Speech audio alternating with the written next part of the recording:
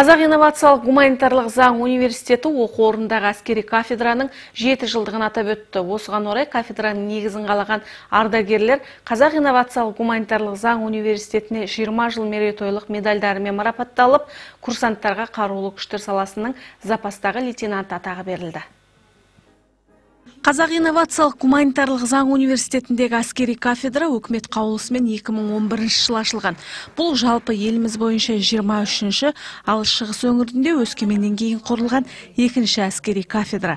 Жоғары оқу орнының 20 жылдық аясына университеттің қалыптасуына және жоғары білікті мамандар даярлауда айрықша үлес қосқан үшін кафедраның негізін қалаған ардагерлер мерейтойлық медальдармен марапатталды отан қорғаушы деген атақ өте үлкен адамды жаңағы жауапкершілікке батылдыққа батырлыққа жөнінде жаңағы үлкен рух береді. Әскери кафедрада оқып жүрген балалардың барлығы әскери кафедраға барғаннан кейін бұлар ерекше жаңағы өздері жігерленіп патриоттық рухы бұлардың жауынгерлік рух барлығы жинақылық барлығы беріледі. Бұл күні 30 курсант қарулы күштер саласының запастағы лейтенант атағын алды.